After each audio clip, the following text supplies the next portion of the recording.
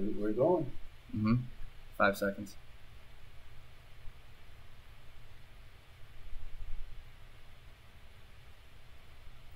Hey, hey, welcome to the program. I am your host. I'm attorney Steven Lee.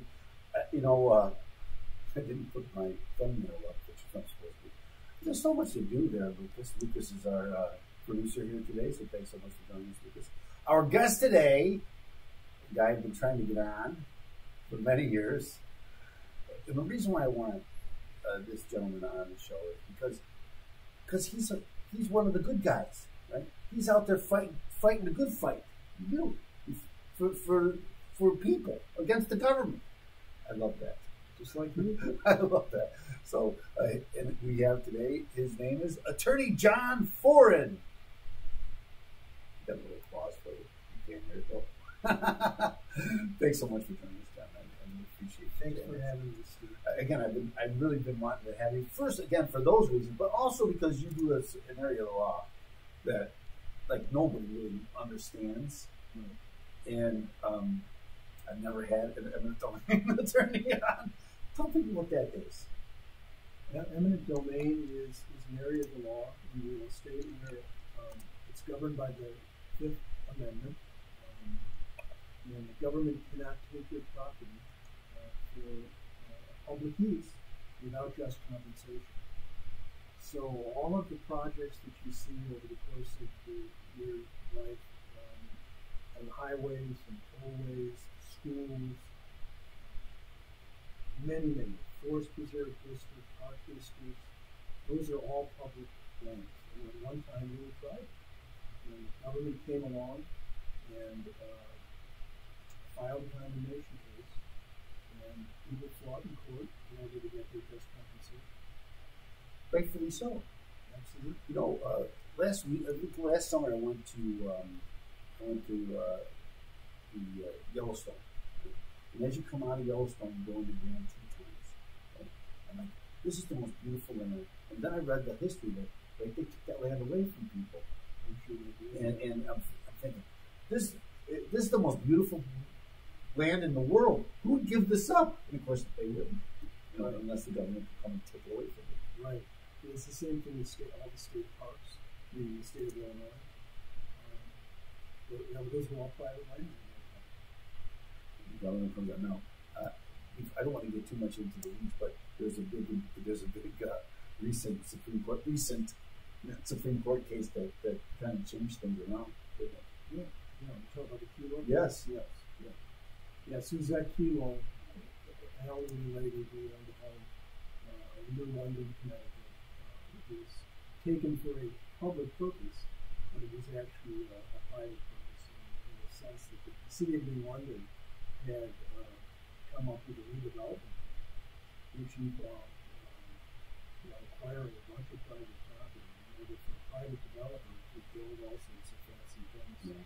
Uh, and of course, there was a big fight went all, all the way up to the Supreme Court, and the Supreme Court said that economic redevelopment, in effect, um, is a public use.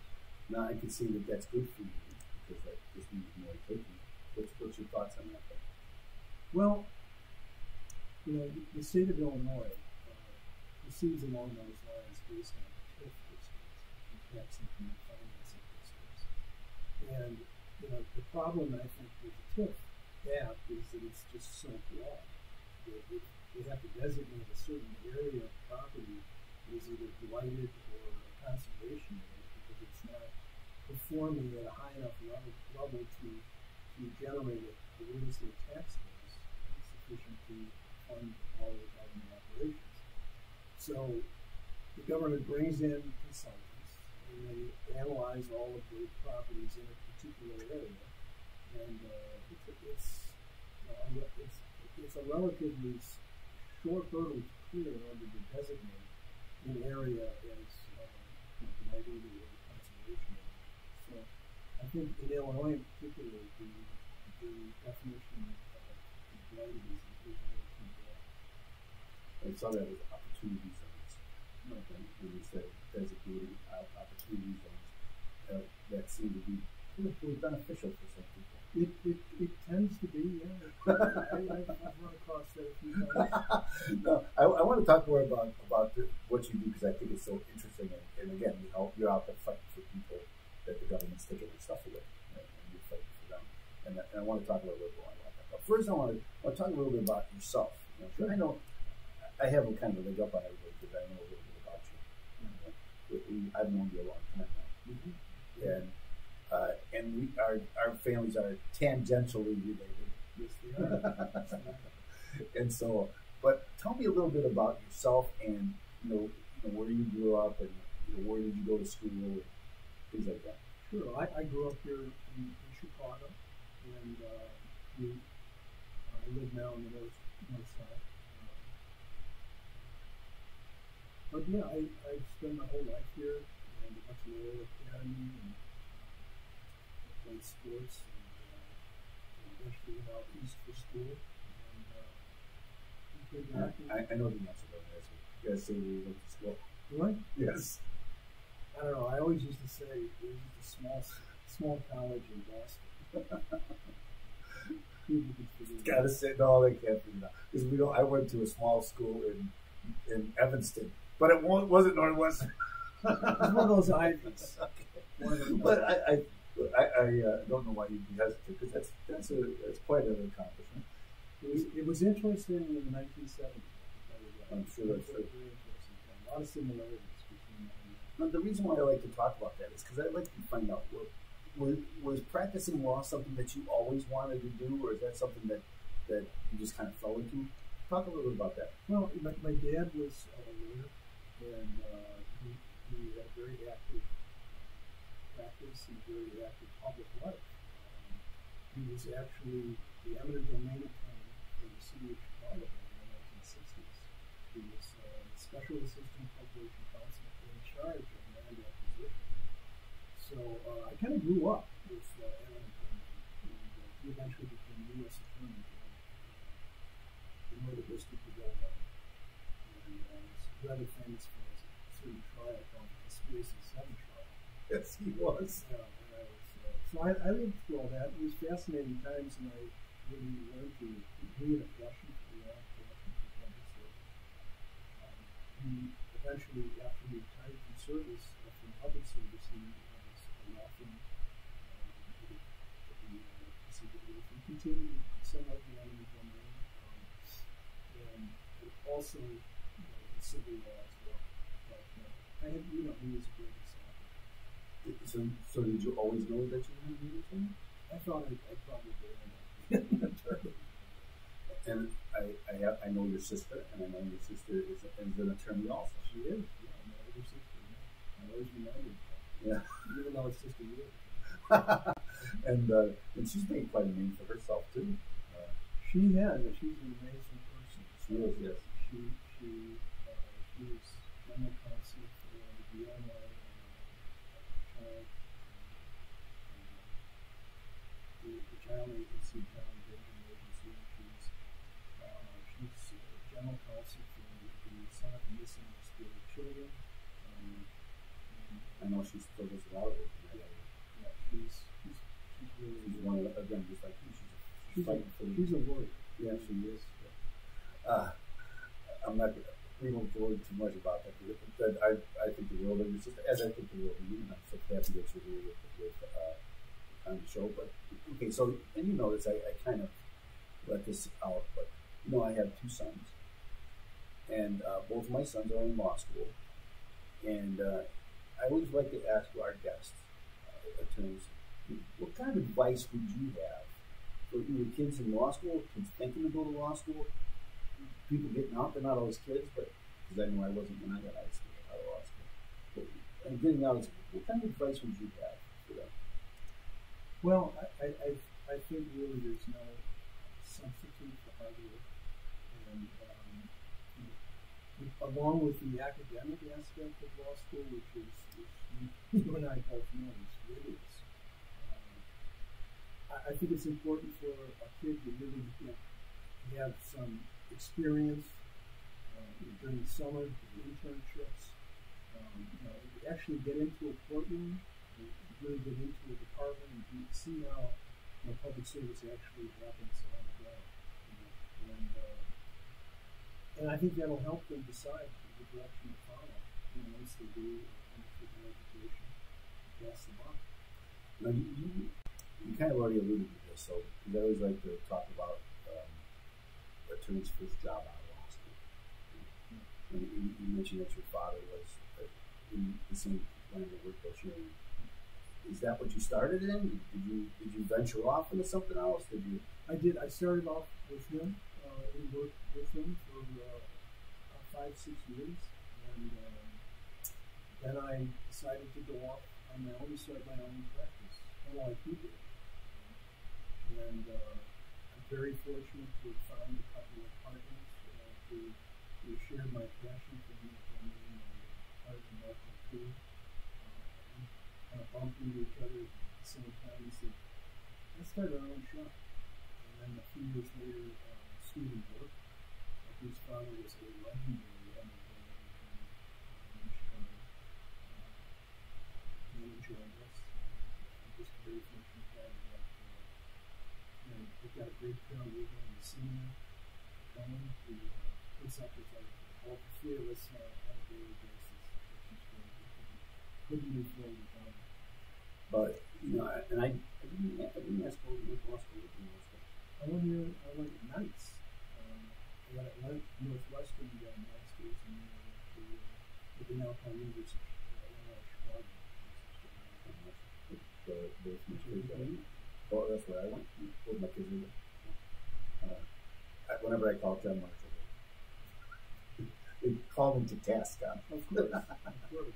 Because uh, my oldest sister, I wouldn't have gone there if it was still John Marshall. I would go to state school. I think it's full of my um, you know, I, I I like to talk about about your first, you know, when you first get out of law school, or, or actually when you first start your own practice, because you know, starting your own practice not not an easy thing.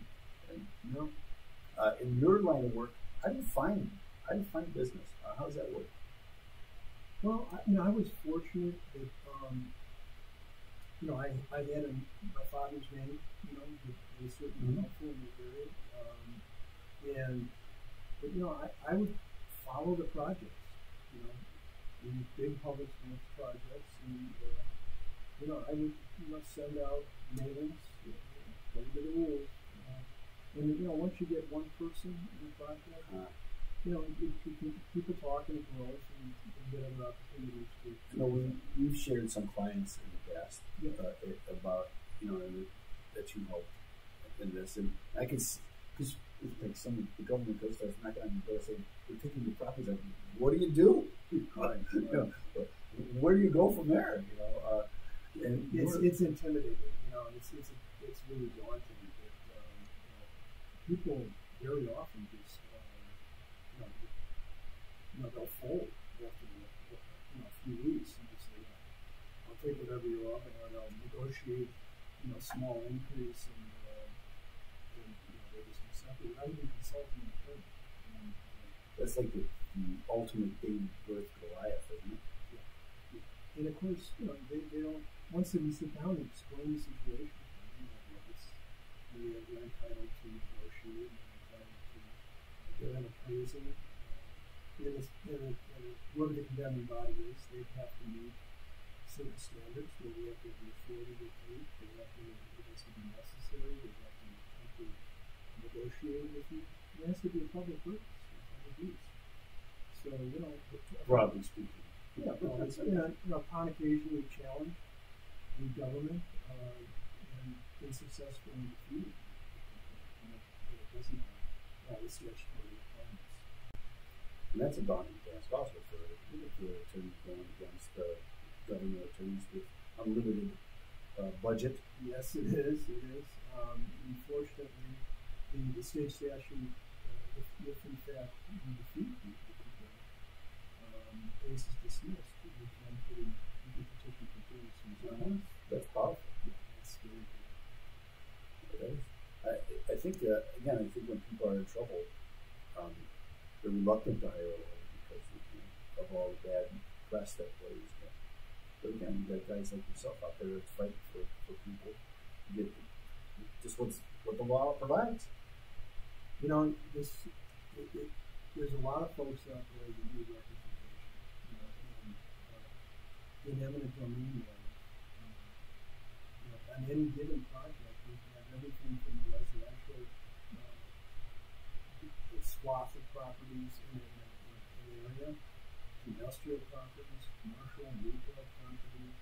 Um, and so it's a broad, uh, you know, a broad sampling of the economy and the real estate market. And of course, we have to value each one of those properties according to what the highest and best use is, uh, which is a real benefit. A lot of people don't realize that it's not necessarily the present use that determines what the valuation is. It's the highest and best use. So if somebody's got a, you a vacant piece of property, for example, I mean, a lot, a lot of resident, uh, farmland, you know, and if it's surrounded by some development, well, then it's not necessarily, a lot of times this, the condemning body will come in and value it as, you know, farmland, which is low into the market. But if you can prove that, no, its highest and best use, is through redevelopment, with, with higher zoning, commercially, uh, industrially, then, you can use comparable sales too.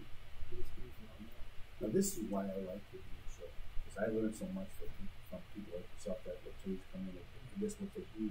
And then, like, I didn't know that, and uh, and I like to I'm informed, but not that much. So that's why I love to I love to have people like yourself in front and, and ask them about their work and find out about it. You know, uh, and I think when people, because people don't know that, what you just said, so and they'll remember that when if it ever comes their turn and the government's knocking on their door, they go, oh, you know, that's I don't have to give them what they're asking for, right? What they're offering. Right. You have a you have a right to its application own analysis, and then you have the right to get your own appraiser and of course. And, uh, you know, a lot of times you even get you need other experts, need an engineer. Who's you know the property is you know very complex. Land planners involved. Know, Now, I, I did ask you this question before, but I want to ask it again because I, I didn't know this either. My son asked me, ask him about trials. Uh, and I didn't know the answer to that. Talk, talk a little bit about that. Because some of these times, sometimes this goes to trial. It does, right. It's, it's a Fifth Amendment right. You have a right to a jury trial. And uh, we've tried a lot of cases over the years. And uh, it's, it's a lot of fun. Um, Do you do the litigation? yeah, yeah, we, we totally do. I, I would say, you know, a good percentage of our cases end up know, in file cases. Um, so yeah, it's it's really a battle of the experts. It's, condemning has theirs, and we have ours. And uh, you know, put on your case. Is there a jury trial? There's a jury trial. yeah, Absolutely. I, I would think, not, not being a litigator myself, but I think that's kind of would, would weigh in your favor. Would you think, or not? I would say I would say that there's uh, I would say the jurors are often sympathetic, you know, the property owner. Um, if you pick a jury, you know that uh, you know you, you never you never know who you're going to get on with. So it's it, that's enough. Um, but uh, it's it's very challenging and uh, very satisfying and it's a good result. You've got a lot of good results. Well, that, that is, The of the game. that is, an, and uh, again, it goes back to helping people. Right? You don't want to go to trial, but man, you, you got to be able to fight in, in the courtroom. Absolutely. Absolutely. And, uh, you know, we've got a lot of interesting trials the. A lot of times, you know, these condemning bodies are coming into areas that are in transition economically. And, you know, for example, in, in the South Loop, uh, were the, the long time known as an industrial area in the 20s and 30s. And then, you know, eventually those buildings and properties reached the end of their economic life, and they were primed for redevelopment. Um, this, you know, for example, the, uh, the with Pierce. The McCormick was uh, came in expanding a huge project to put in new wing. And they were taking invest, old investment properties. And so, uh, there's cases in China, too, same type of thing. I worked a lot down in the McCormick Place when, it, when, when they just had McCormick Place. And then the South Building, Right. and then the North Building. And Now it's just a, they took over that whole area. They, Right. they gobbled it all up. Right. And we were involved in all those expansions. And that was very instrumental in developing the South Loop. Because the South Loop from you Roosevelt to City Cermak was really um, you know, a non-developing area. And then the idea really came from the city of Chicago of planning and the leadership that um, you know, saw the potential for expanding the conference, really attracting, uh, you know, attracting conventions every year, and all the how important that was. Course, now when I drive down uh, Lakeshore Drive, uh, past all the development, beautiful residential development, from Cermak over to, to Roosevelt, it's just remarkable. It really is remarkable. It was, it was, it was very lighted area. Um, some of my best, favorite travels were over there. they were not a too I may have represented. I'm sure you did. Because, uh, of course, I was again. I worked at Farm Place, so there was a lot of there was a lot of some some. Uh, there were talents. Yeah. So was my favorite You place. knew the neighborhood. Yes, I did. Yeah. Yes, I did. Well, right there by. Uh, what, is it the Lexington Hotel? It was the, Hotel Roosevelt. no, the, the uh, Al Capone's Hotel. Oh, Hotel. Al Capone's, yeah. I forget. Was That that? was- was I it the think it might have been the Lexington. It's right there on uh, Michigan Avenue in Cermak. Yeah. Well, that Geraldo Rivera made famous. Right, right. Yeah. Or didn't. He, Infamous. he, opened, he opened up the safe and there was nothing in it. Oops. Oops. You're so sure. So you made a career out of it, Yeah. uh, I had to laugh uh, because we, when I met you, um, we were in a, a group, and I had met you a couple of times, but we never really talked. And then we started talking, and uh, I asked you what you did. He said, I'm an attorney. I said, what kind of law do you practice?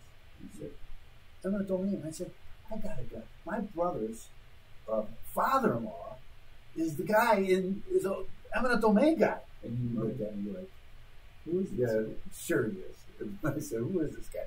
And I said, uh, Robert Wiss. And he said, he is. So, t- and so tell a little That, about that was an amazing connection, uh, an instant, instantaneous connection. That's how we got. Yeah. Because I grew up, uh, Bob Wiss is my dad's part ballpark. Foran Wiss and Schultz. Yeah, absolutely. And uh, Bob Wiss was just a genius man. He really was. He, uh, he's, uh, so he was a father-in-law of brother. Yeah, and so he, and you know, uh, I he was a great guy, and every time I met with such a down to earth man, became uh, uh, some the uh, military court of appeals, Yes. Yeah, so That's right. admiral in the navy. Yeah, he always he was uh, in the naval reserves. Yeah, And, and my father-in-law was the head of the Navy Reserves Oh, in really? Illinois, you know, 10, 15 years. Uh, so they were, my father-in-law and Bob Wiss were very, very close friends through the Navy and uh, hung out together for years during their, Navy days. And, so that's a connection. Yeah, it was, it was, that was remarkable. Yeah, they, they were, they were great. And, but I mean, growing up, your sister-in-law uh, was over in our house with your dad and mom, you know, all the time, big holiday. Yeah. And uh, of course, I admired Bob because my dad always said, most brilliant, most brilliant atomic mind in, you know, Chicago. Uh, he was unbelievable. I just thought it's so funny because I knew you was John, but I, had I known you were John Foran, I would have known, Yeah, but I didn't. So I was like, and then the connection, like, wow. Quite a connection. yeah. Love Bob. Just a great guy. One of the best storytellers and joke tellers ever. Yeah, he was. He- Very, very funny. Talk about dad jokes. The guy knew all the dad jokes. He knew them all. He really did. He did. So I thought that was a nice. I, I like that story. I told the Yeah. story a lot because because your eyes were just like, yeah, who is this guy? It's like, oh, I, you're right, he is. If you read, if you read many of the old decisions in eminent domain case law, uh, you'll see, you'll see Bob Wiss's name uh, on many of them. He- he- My dad would try the cases and get the verdicts, and then the state would appeal, and Bob would come in and handle the appeal. It's amazing. And, it was- Which is why I put him on the court. there. So, you know. Yeah. Well, they would, they would be, you have to. Absolutely, absolutely. Now, here's another question that I'd like to ask attorneys.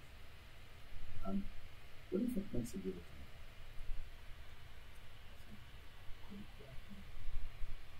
Uh, I, I, I think, I, I really do think that um, you have to be willing to step into the shoes of your, client, really see the case from their perspective, um, to understand what it means to them, you know, what this property means, what this business means, and you really have to be willing to commit hundred percent, you know, to, to giving them justice. And you gotta work your tail off, and uh, you gotta bring the best people in, you gotta decide on the case, because ultimately, if you've gotta take it to trial, you really have to have the best team uh, assembled, you know, to, to really bring your theory of the case I, I do think that, that you, really have to you have to know this, you to work on it. It's it's it's a demanding. You build every case that you're going to trial. Right? Yes, absolutely, absolutely.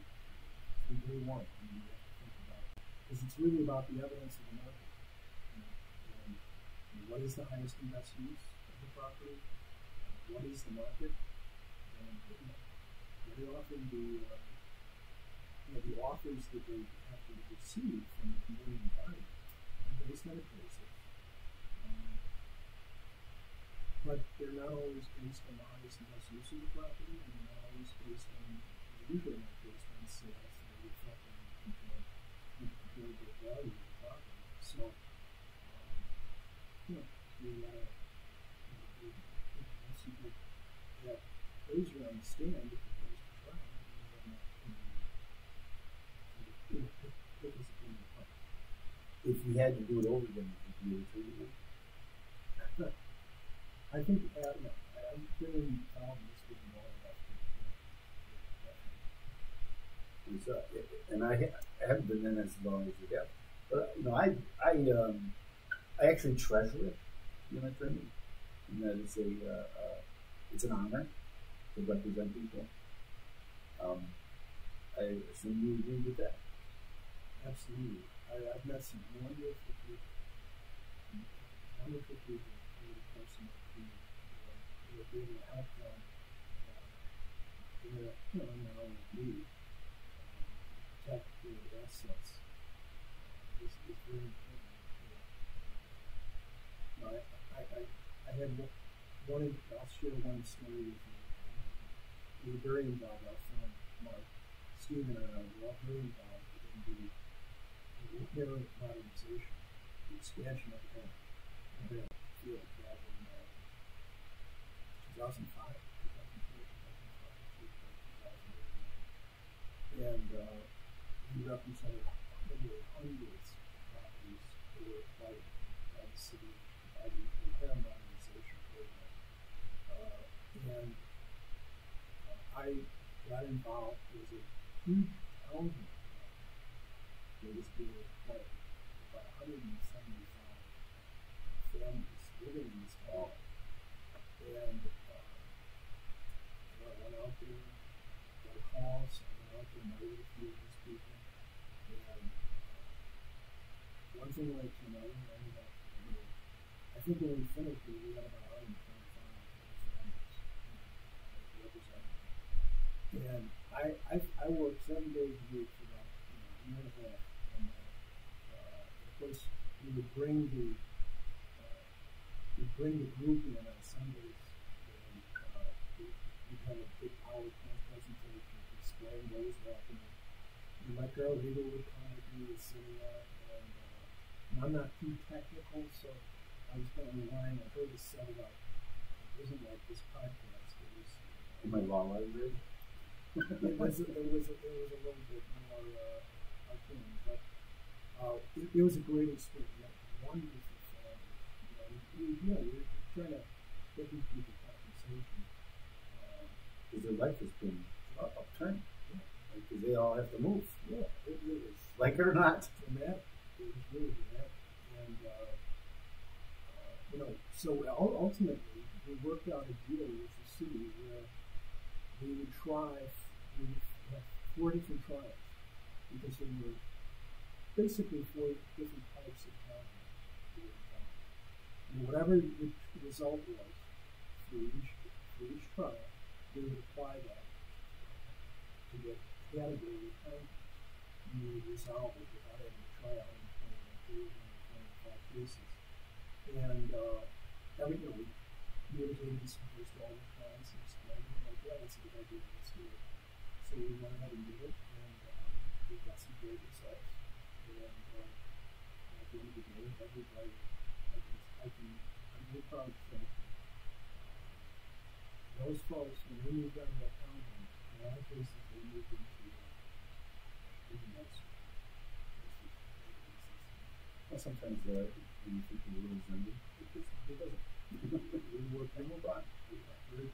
Now, I know you have uh, four children, and I know you have a number of grandchildren. Would you encourage any of them an attorney?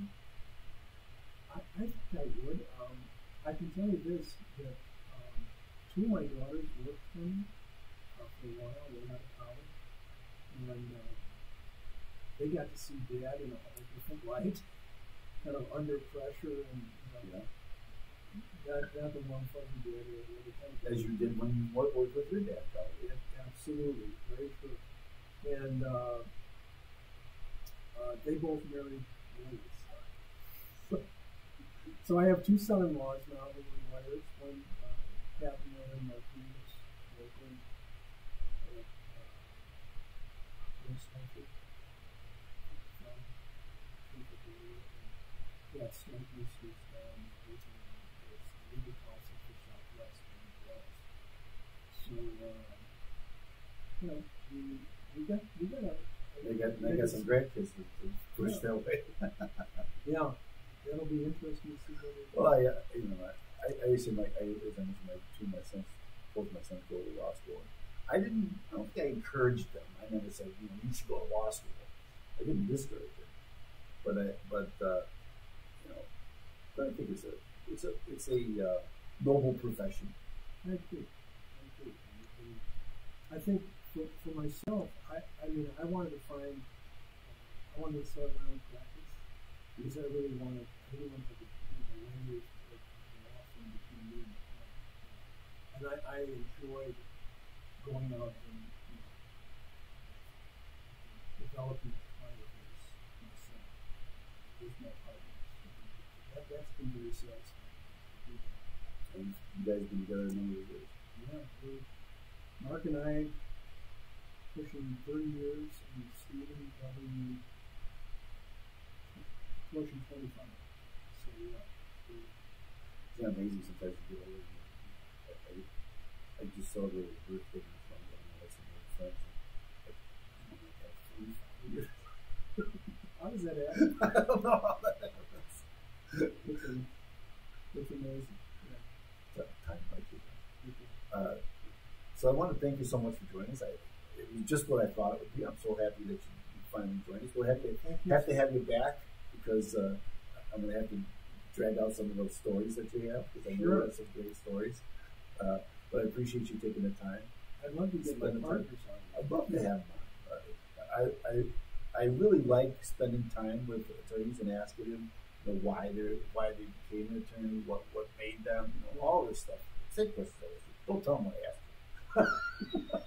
Because I'm gonna. I. I'll keep. I'd love to have them. on. So I, I appreciate I appreciate the connection. Well, Uh, thanks for thanks for the invite. It's. I told you you'd have fun. Yeah, absolutely. A little nervous, but Well, anytime we, when, whenever we get together, John, uh, was just the, the, the conversation's always fun. oh yeah. and I, I'm so happy that, that, that you're here and I uh, spend spend some time with you. So thanks, thanks again. Thank you, Steve. So thanks so much. Uh, uh, we're gonna we're gonna have some of his partners on. we'll, we'll make that happen. So thanks so much for joining us here today. Uh, it is the uh, the Law Library at the Trust Radio Network. So thanks so much, and we'll see you next time.